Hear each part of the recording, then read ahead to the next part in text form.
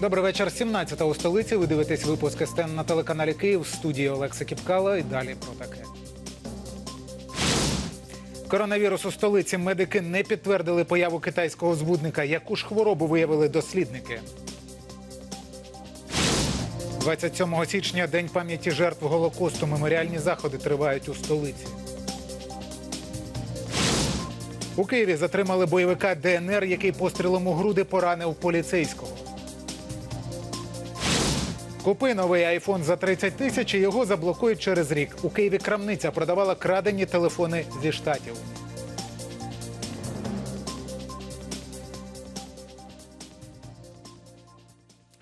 Києві знову шукають вибухівку на центральному залізничному вокзалі через анонімне повідомлення. Роботу вокзалу тимчасово обмежили. Усіх працівників та пасажирів вокзалу евакуювали. Будівлю перевіряють вибухотехніки, кінологи та правоохоронці. Поїзди курсують за графіком. Посадка пасажирів проходить через прилеглі переходи. Йдеться у повідомленні прес-служби. Залізничники закликають зберігати спокій та поставитися до тимчасових незручностей із розумінням. У Києві китайського коронавірусу немає. У столичному лабораторному центрі спростували інформацію з соцмереж, що виявили перший випадок атипової пневмонії, яку викликає китайський агресивний вірус. У центрі справді підтвердили факт зараження коронавірусом, однак він має іншу природу і не становить такої загрози, як збудник 2019 nCoV, який спричинив пандемію.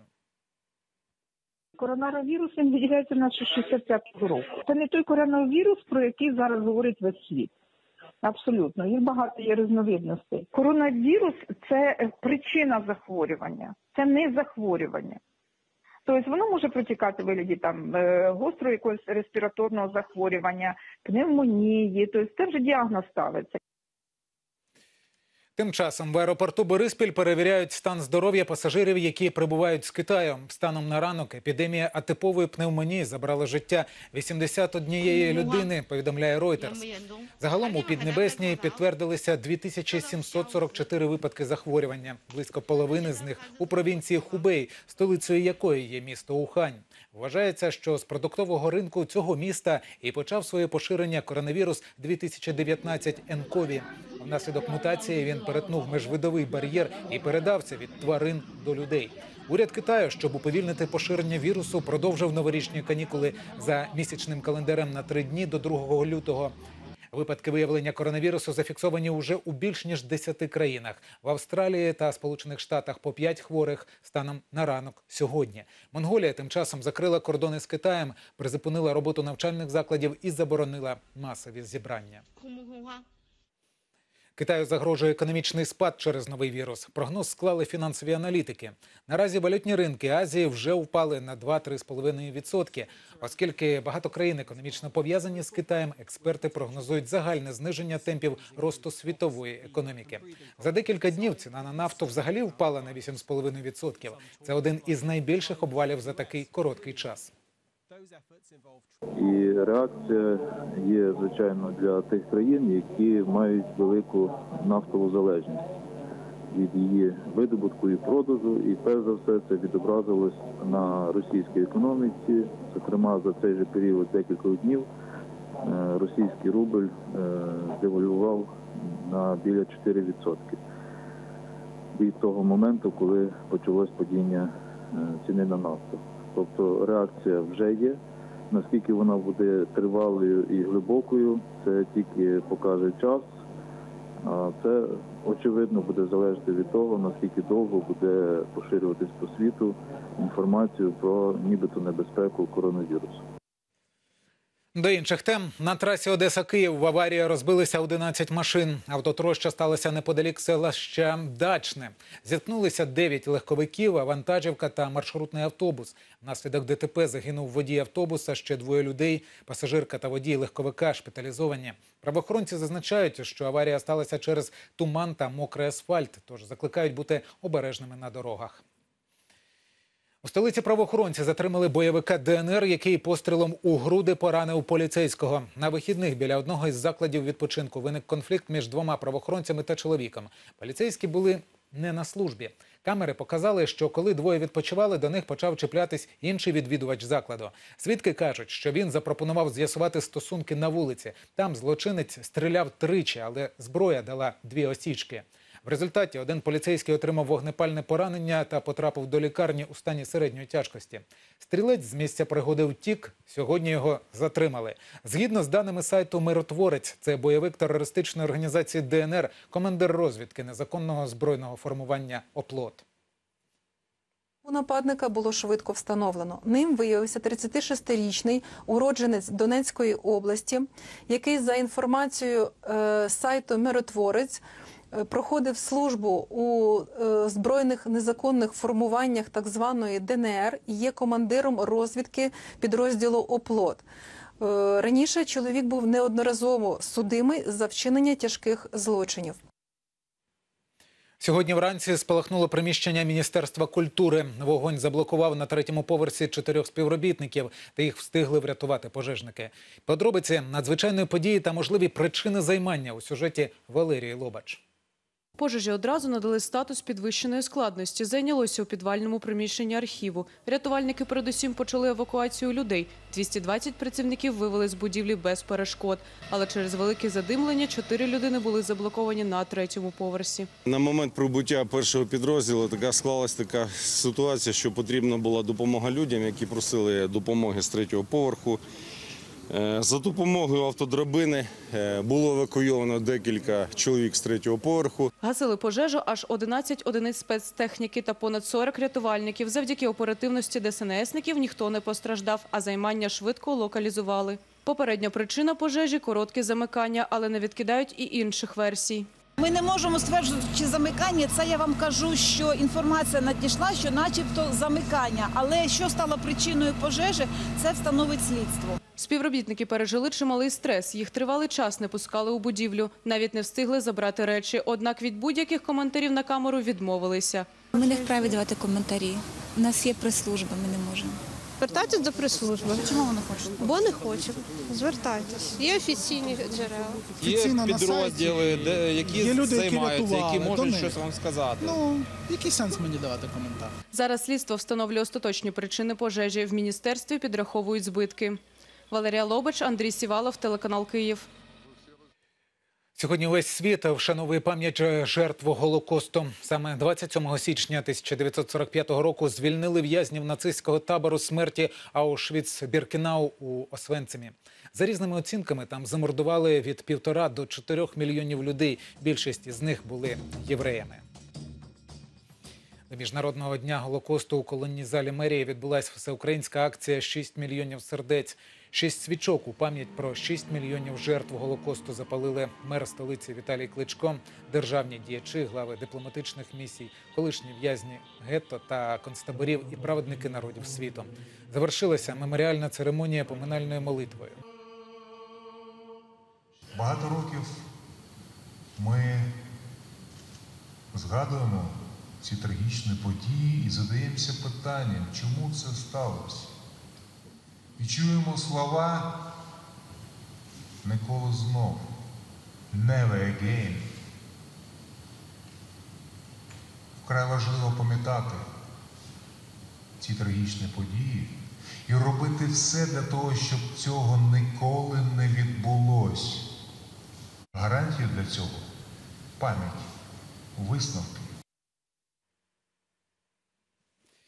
Купила новий айфон, а він виявився краденим у Сполучених Штатах. У Києві магазин техніки упіймали на схемі Кидалова.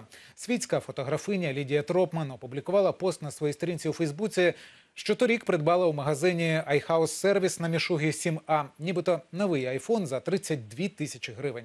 Нещодавно телефон завис, після чого і з'ясувалося, що він був вкрадений у Сполучених Штатах. Наша знімальна група поїхала до магазину техніки та поспілкувалася з постраждалою. Усі подробиці в сюжеті Катерини Бенько. Когда я пыталась установить заново свою сим-карту Киевстар, мне iPhone написал, что он не поддерживает этого оператора. Я обратилась в сервис, специалисты пробили данные, выяснилось, что телефон в Америке в черном списке, и на него написано заявление о краже. Когда я покупала телефон, меня не поставили в известность, что телефон залочен по другого оператора и что с ним проблема. Лідія Тропман опублікувала цей допис у Фейсбуці після того, як її айфон, яким вона користувалася рік, несподівано завис. Из-за того, что перезагружена была память, э, слетела операционная система. Появился черный экран яблоко. Когда я начала э, ставить карточку Киевстар, карточку Киевстар телефон не принимает.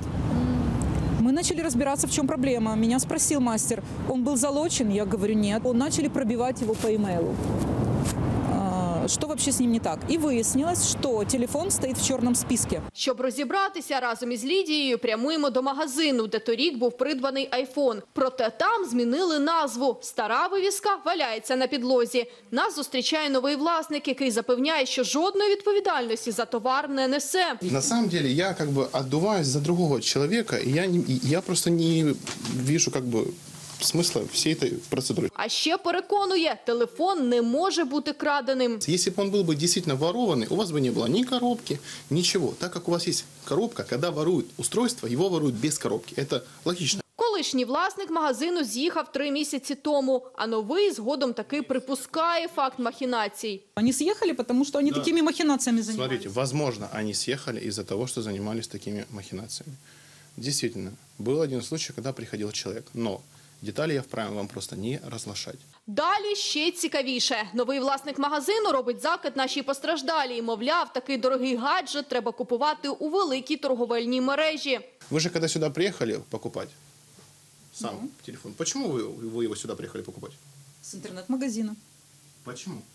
Ну, Понятно. потому что цена была дешевле. Потому что была цена дешевле. Вы Да. решили сэкономить. Да. Вы купили, говорите, за 31, значит, это... За 32 тысячи. Своєю чергою експерти з Укрспоживконтролю кажуть, Лідія припустилася ще однієї помилки. Їй видали лише товарний чек, а не фіскальний. А товарний не дає жодної гарантії. Єдиний шлях відстояти свої права та домогтися компенсації – звертатися до суду. Крім того, експерти припускають, що це могла бути контрабанда. А ФОП, який здійснював продаж, ймовірно, збанкрутів. Тому радять не довіряти інтернет-магазинам, а купувати техніку в перевірених великих торговельних мережах. Але навіть там варто перевіряти дозвільні та реєстраційні документи. Лідія збирається написати заяву до поліції, подати позов до суду. А ми будемо стежити за розвитком ситуації і згодом розкажемо про це у випусках СТН. Катерина Пенько, Олександр Гончаренко, телеканал Київ. Отже, це все, що встигаємо розповісти вам на цю годину. Більше дивіться у випуску о 19-й. А далі Олександр Даниленко про події зі світу спорту. Тож не перемикайте.